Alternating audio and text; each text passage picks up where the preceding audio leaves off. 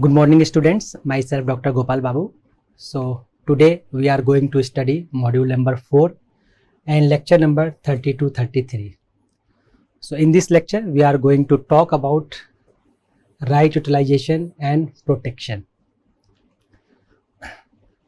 So in previous lectures we talked the dimension of education, dimension of health, dimension of justice, dimension of production, dimension of exchange and storage.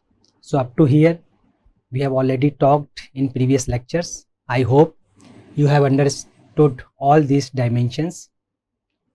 Now today in today lecture we are going to talk about this right utilization and protection.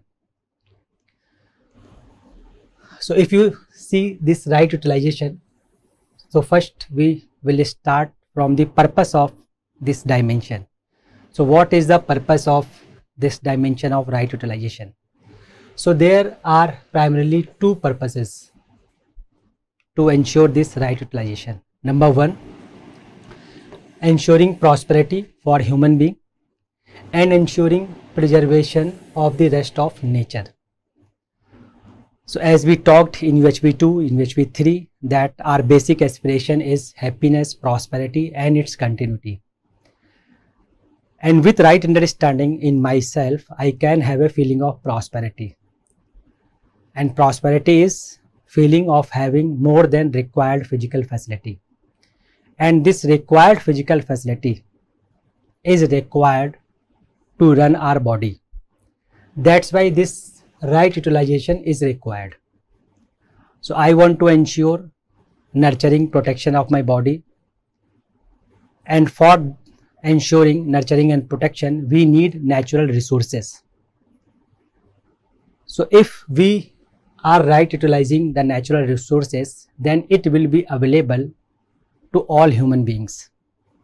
It means this right utilization would help us to ensure prosperity, enough physical facility required to nurture our body required to protect our body our body as well as body of our relatives also. And also these resources are required to participate in larger order. That's why this right utilization is required. So if we right utilize the natural resources so they are going to help us number one ensuring prosperity natural resources required to ensure prosperity. And number two it would also help to preserve the rest of nature. So for these two purposes primarily this right utilization is required. And you can think of whether we are right utilizing the things or not. In present education system you can also evaluate whether we are focusing on right utilization of things or not so there are two dimensions of right utilization. First, preservation and protection of things that are being used or utilized. So whatever things we are using or utilizing, they have to preserved. This preservation and protection of those things are required.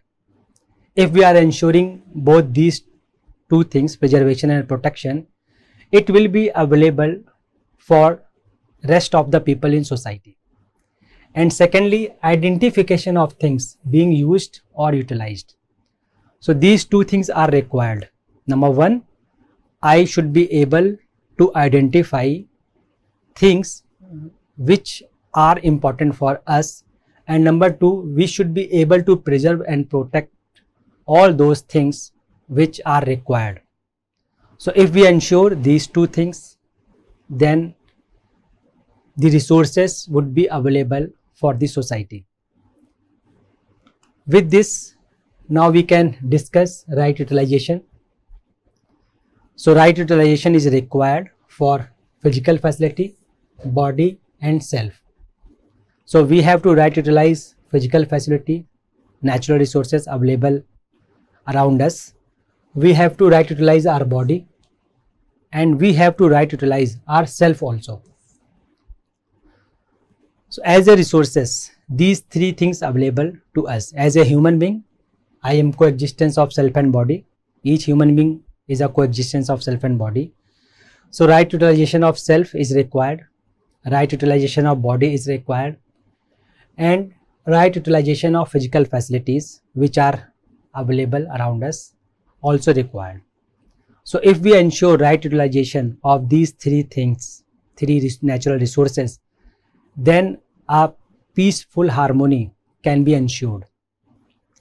Because if you notice, if we are not able to ensure this right utilization of the self, then you can notice a lot of chaos at the level of society, at the level of family. Similarly, if we are not able to ensure right utilization of my body, it means right utilization, in the lack of this right utilization, our body get diseased and I won't be able to participate in larger order at the level of family, at the level of society, at the level of nature. Similarly, this right utilization of physical facility is also required because I want to participate in larger order and for participation many times these physical facilities are required. That's why the right utilization of physical facility along with right utilization of body and self is required. So let's talk about all uh, three things how we can ensure right utilization of physical facility, body and the self. So right utilization of physical facility. So why do we need this physical facility? Simple for nurturing and protection of the body. So we need food, we need clothes, we need, we need technical instruments, technologies to nurture and protect of our body. Similarly, I want to participate in the society and for this participation, I need resources, I need physical facility. So right utilization of physical facility means nurturing and protection of the body and for participation in the society. So if we ensure right utilization of body, right utilization of physical facility, then I can participate in larger order and if I have physical facility in excess then we can distribute it for the welfare of society with the feeling of relationship. It ensures harmony in the society. Then right utilization of body. So it is very important part. As a human being I have this body as an instrument. And through this body I can participate in larger order that's why there is a need to ensure right utilization of body. So we have to right utilize my body because of because I want to develop myself, because I want to ensure growth in my consciousness. I want to self study and for all these there will be a need of the body. So suppose I am teaching this subject because I have this body and because of these senses available in the body you can listen me. Similarly you have body you can express yourself and i can listen you. So for this self development for self study this body is required. A healthy body is required. And for healthy body can be ensured with the right utilization of the body so it is our responsibility to ensure right utilization of the body which is naturally available to all of us. Then second, with the help of this body, we can ensure fulfillment of obligation, duties towards family and society.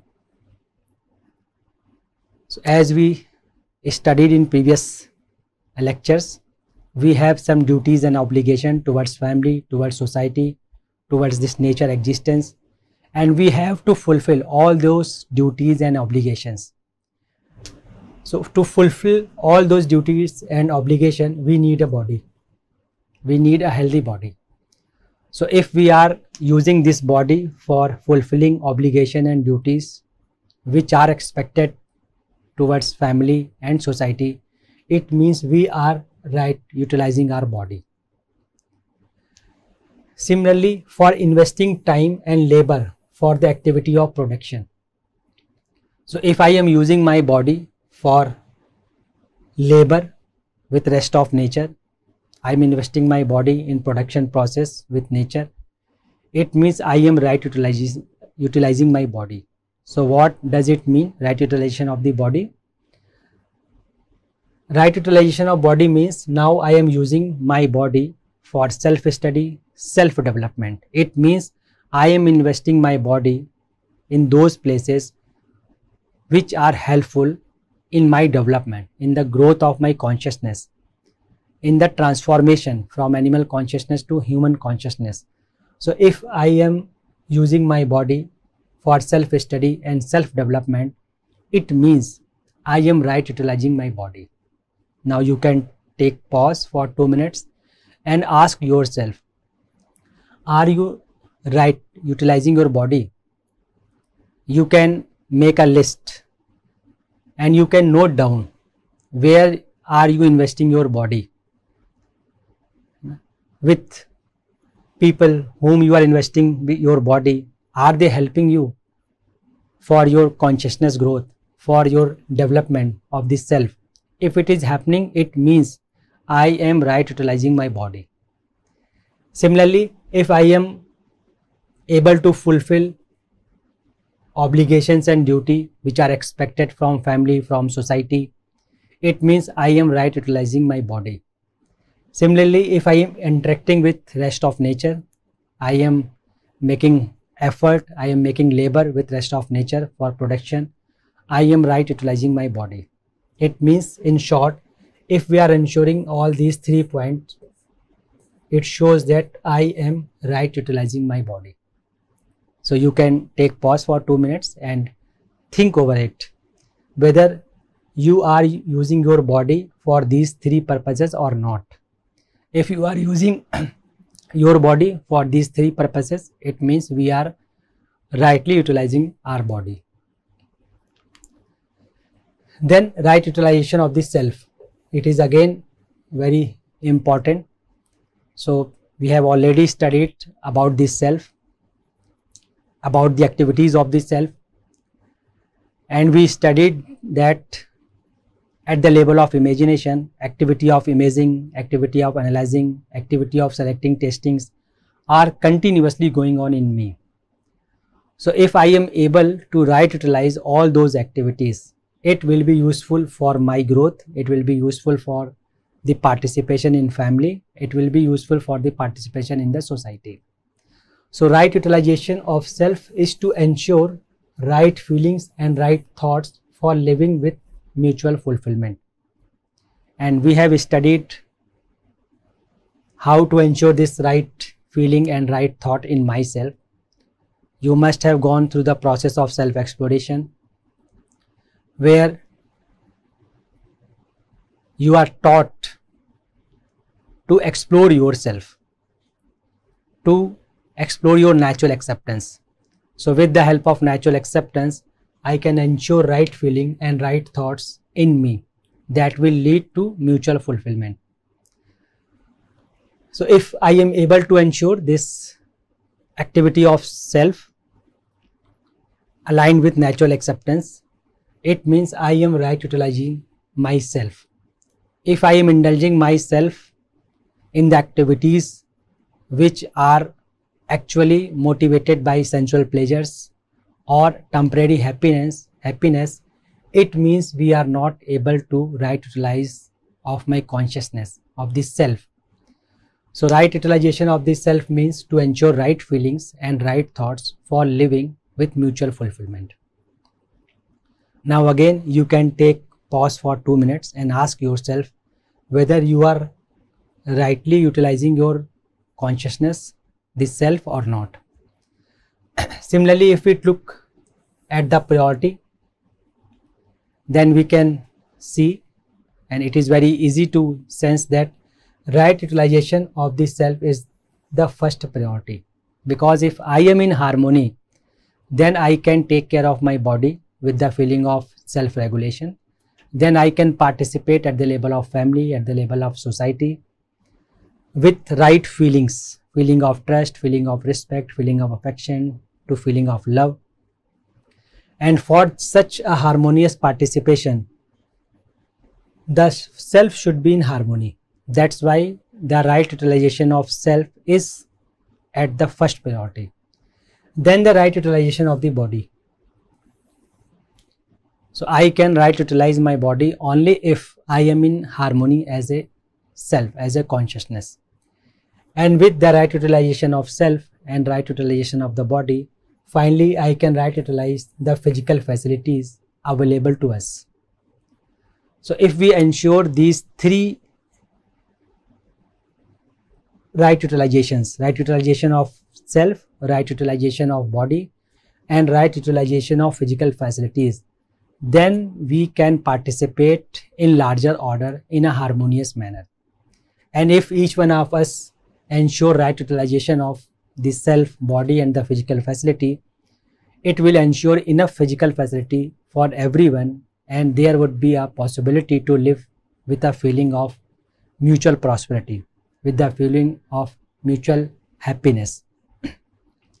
so if we are not able to ensure the right utilization of physical facility, then it is indicator that we are not able to ensure right utilization of the self also. So this is an indicator, you can take it as an indicator. If a person is not able to ensure right utilization of the self, of the body, it means that person doesn't have right understanding in the self. It means that person is not able to ensure right utilization of the self. So with the right utilization of this self, I can right utilize my body and with the right utilization of body and self as a human being, I can ensure right utilization of the physical facility. So in this manner, self, right utilization of self is at first priority then right utilization of body and then right utilization of physical facility. Then what we can do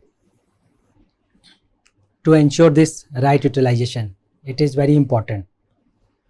So before I continue this lecture, you can take pause and you ask yourself what can be done at the level of individual, what could be done at the level of family, what could be done at the level of society, to ensure right utilization of this self, body and physical facilities. So at least we can develop the wisdom to discriminate among right utilization, misutilization and indulgence. So with right education and sanskar, we can help our students, our generation to develop such kind of wisdom which may help them to discriminate among right utilization, misutilization and indulgence. So in the absence of this wisdom, many people are indulged in sensual pleasures, are indulged in a show-off type culture where they are wasting resources. So if we are able to develop such kind of wisdom, it will help people to discriminate among right utilization, misutilization and indulgence. Then to have the mindset and commitment to have a lifestyle which ensure right utilization. So at the level of family, at the level of society, we can ensure lifestyle in a in such a manner that is it conducive to natural ecosystem. So at least at the level of family, we can ensure such kind of lifestyle that can ensure right utilization. So again, you can take a pause and think over it. You evaluate your present lifestyle and see whether your lifestyle supports this right utilization of self, body and physical facility or not. So it may be a little exercise for all of you. Then a minimum test for this is whether our production is more or consumption or indul indulgence. So this could be a little test. So whether our production is more or consumption or indulgence, you ask yourself. So if you uh, do this little exercise, you will be able to find that we are more indulged in consumption. We have adopted a lifestyle where we all indulged in consuming more and more rather than producing more and more. And it is happening because of this lack of wisdom. So we can ask these questions at the level of individual and at the level of family It is this which indicates whether we are asset or liability for our family or society. So if we are able to right utilize the self, body and physical facility, we may be a asset for society. But if we are consuming rather than producing, if we are not able to ensure right utilization of self, body and physical facility, then definitely we uh, will be a liability for our family and for society and even for the nature. So this we can do at the level of individual. So what we can do, number one, we can help people to ensure this wisdom and with this wisdom people can discriminate among right utilization, misutilization and indulgence. And once people are clear about this right utilization, they will ensure a conducive lifestyle, conducive to environment, natural environment, conducive to society, conducive to right utilization. All these things can be ensured with a right wisdom. So at least this we can do at the level of individual. Similarly, at the level of society, we need to develop a culture and civilizations which promotes right utilization and restrain misutilization or indulgence. Or at the minimum level, at least it should not appreciate it. So at the level of society, there is a need to develop a culture. A culture where people gets motivated to right utilize the things rather than to consume more and more. A civilization where people gets motivated to right utilize the self, body and physical facility rather than indulging in sensual pleasures. So at the level of society, we can develop such kind of culture and civilization. So we must promote this mentality of right utilization in every festival, every rites, rituals, in every cultural functions. So in our society, there are many festivals, rites, rituals, cultural functions, many times in a year.